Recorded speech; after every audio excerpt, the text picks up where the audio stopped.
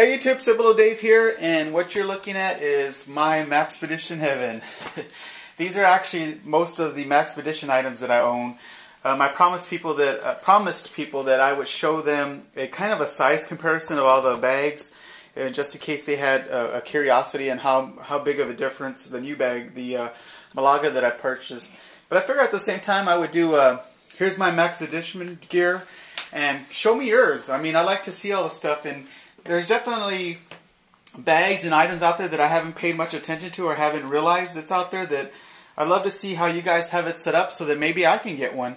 I'm always looking for a new bag. Um, I'm always looking for something new to, to carry around.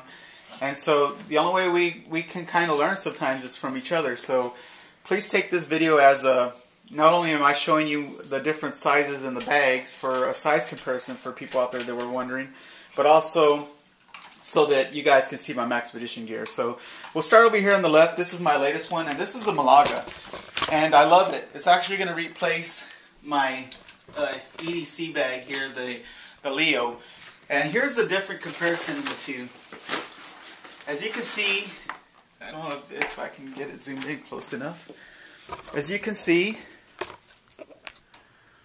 it's about maybe about six or seven inches bigger and maybe not that maybe the same size width wise because the Leo has the two pockets on the end but it's definitely got more room so it's going to carry more volume. And I know it's hard to pick up because both bags are black but you can kind of see the flag on the Malaga peeking out and that's the difference in the size there. And so let me get back here focused.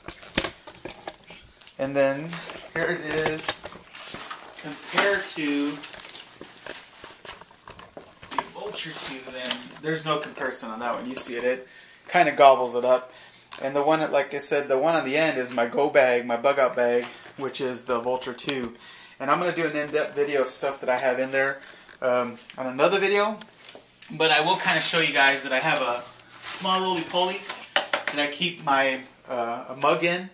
Um, I use it every now and then for an ammo dump when I'm outside shooting, but right now it's holding a mug. And then I have the Maxpedition uh, that's holding my stove, a cup, and all that stuff. So it's actually holding my uh, Jetboil. Did a video on that. I've asked a couple people have asked that I redo that because it was kind of shaky and I wasn't real confident back in the days when I was doing that one. So look for maybe a future video on my Jetboil video. Um, and then of course I have a wallet. Um, carry it usually only when I'm going outdoors. I don't usually carry this with me very often. And then I have another smaller bag that I use for my camera bag. Um, it's in my wife's trunk, so I can't get it in this video. Um, but basically what you see there is what I have now. And I've, I've owned a few other Maxpedition items that I've let go throughout the years to upgrade, and I've used the cash to buy it. But uh, uh, that's what I have now and what I'm using now. And I'm like I said, I'm always in the market looking for something different. So if anybody has an idea of something that I'm not, you know, um, talking about, and you love it and you want to recommend it, like I said, leave me a comment, PM, something. Um, I, like I said, I'm a, a Maxpedition nut, and so I love watching videos on other people's gear.